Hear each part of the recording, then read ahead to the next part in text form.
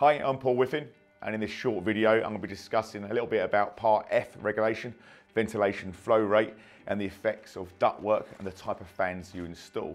Just a quick recap of what the fans should be expelling, the amount of air. It's measured in litres per second. In the bathrooms, we've got to achieve 15 litres a second or more. WCs, the water closets, we're looking at six. The kitchens, we're looking at 30 for any fans that are adjacent to the hob. Anywhere else in the room, it's got to be up to 60. Any utility rooms, you're looking again at 30 litres a second. So be a little bit careful for what sort of size fans you use. Okay, so when picking a type of fan for your wet room, all manufacturers will specify the litres per second that they, the amount of air that they expel. So just be a little bit careful as this measurement that they give you doesn't really take into consideration any ductwork that's attached to it.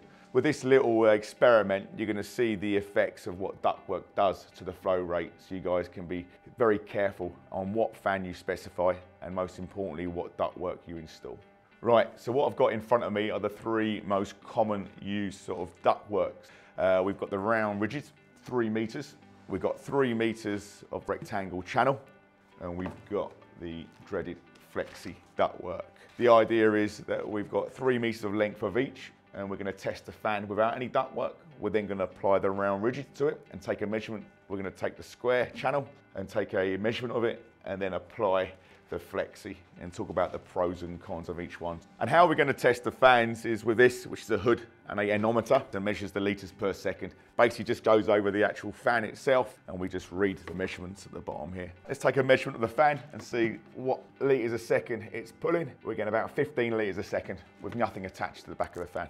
Right, this is the round rigid ductwork that we got here. Please be aware not to use soil pipe. Use the specified ventilation pipe. It's got a less resistive sort of surface so air can flow a lot easier. Connect this up just quickly, seal it up, and then take a measurement. So we're measuring 14 litres a second. So 15 litres a second without anything on, three metre duct work, we're getting 14 litres a second. I think that's about a 6% reduction in airflow straight away. So this is the flat channel, three metres that we've joined together to make it an equal test. Uh, flat channel tends to be used in when there's limitation in voids in space. People like threading this through brickwork, so it does sometimes become the preferred option. Just to give you a quick idea how it mounts on the fan, you can see the slight restrictive nature of what it's going to do to the fan flow straight away by looking through here. Right, let's connect it up.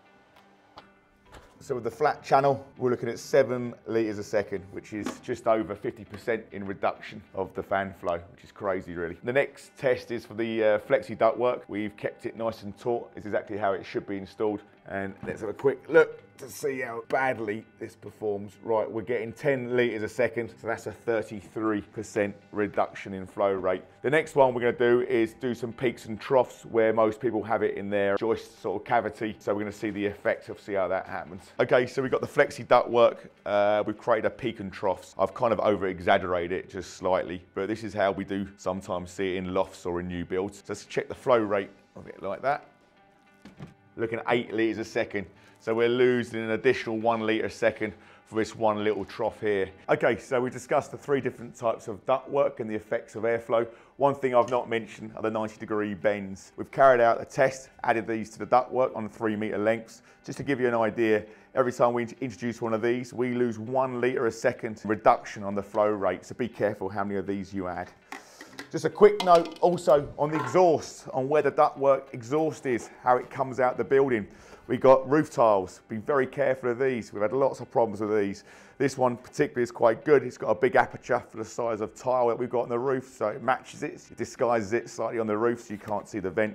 This actually reduces it by four litres a second, so just be careful what style you pick. Also, the exhaust on the wall, you get the flappy sort of grilles that you can hear in the wind and also the grille plates that are fixed. Be careful, they also add resistance to the flow rate. So all these little additions do eventually add up to quite some significant loss of airflow. Okay, another few points just to add. If you're bringing your ductwork up into an unheated area such as lofts, please make sure the ductwork is insulated for condensation purposes and to stop water.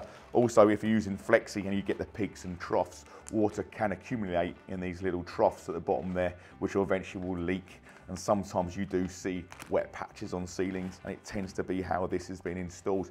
So best advice, well, is not really use it, but if you have to use it, please make sure it's nice and taut and it's supported regularly throughout the uh, length of that ductwork. Okay, one last point I promise is the posi joist sizes to allocate your ductwork. This is a four inch sort of size pipe. As you can see, it fits pretty snug. Just be warned if you are pulling in the extractors at 30 litres a second for utilities and kitchens, you tend to use six inch ductwork to obviously not reduce the airflow. So just be a little bit careful when specifying your joist sizes. Okay, thank you for watching. I'm hoping you found it helpful and assist you guys in picking the right ductwork to assist with your Part F ventilation. Thank you for watching. Hi, I'm Paul Whiffin from AtSpace and today we, are going to be uh, what not to do and what to do. do you want to do that again? It's calculated basically in a, a environment. Got to be a little bit careful at what fucking hell, I've had a yeah.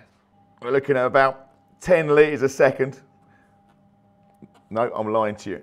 Is try, well, no, do again. Come on. Well, no. Uh, yeah. The effect, too many effects, words I've used. Let's do that again. to allocate the right, allocate, fucking, and I'm Paul Whiffin, and over and out. Good part F ventilation flow rate. No, it's not achieve, achieve. Okay, hopefully you found that informative and hopes you hopes does something to you. Give us a tingle. It sounds like